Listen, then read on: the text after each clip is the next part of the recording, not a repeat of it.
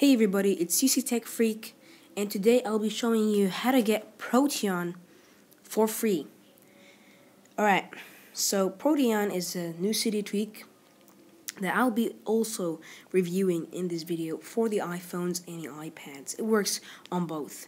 So to get it for free, all you have to do is just head over to Cydia, and you're gonna add the source that I'll be posting down below in the description. So you go to the Sources tab, you click on edit add any add repo dot hack your iphone dot org.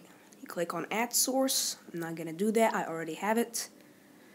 Alright so you're gonna go to the search bar and then you're gonna search for Protean and then you'll have uh, this blue one the Protean that I don't know how to Protean, sorry for that.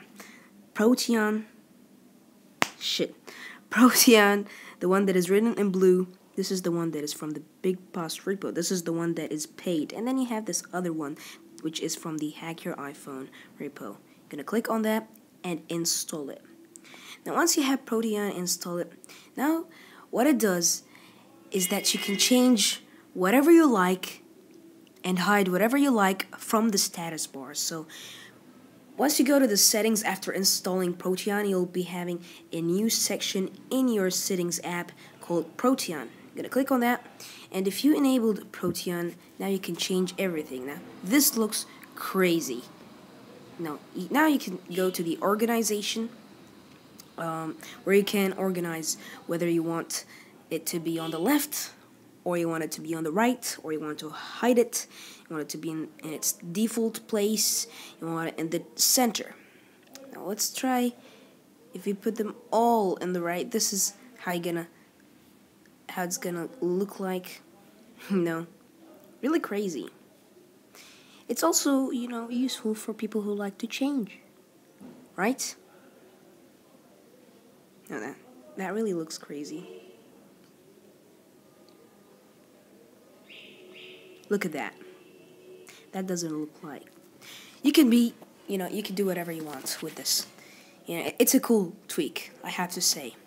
And there's a ton of tweaks and, and, and set, settings for this tweak that you can play with. And if you went into the advanced options, just like this, there's a lot of uh, stuff that you can edit, like the space between everything and a lot of stuff. Just download it, play with it, you know, yeah, yeah, that's it. That's podium. Whatever it's pronounced like, I, I don't care. Just install it. And this is how to get it for free. Works on both iPhone and iPads.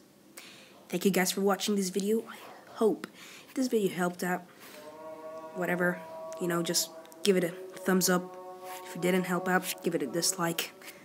Post a comment down below whatever you want. Subscribe.